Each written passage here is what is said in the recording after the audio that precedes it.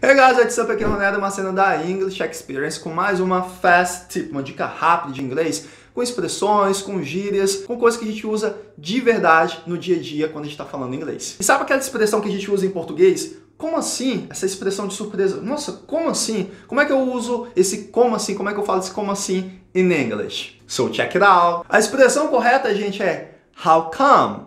How come? do jeito que está vendo aí na tela, tanto escrita em inglês quanto no alfabeto fonético internacional. Aplicação numa frase. How come you don't know what happened? E antes desse vídeo terminar, lembre-se de não se esquecer de se lembrar, de se inscrever no canal, deixar seu joinha aqui no vídeo. E se tiver alguma expressão que você não sabe, que você quer saber, coloca aqui nos comentários que eu trago tudo isso para você.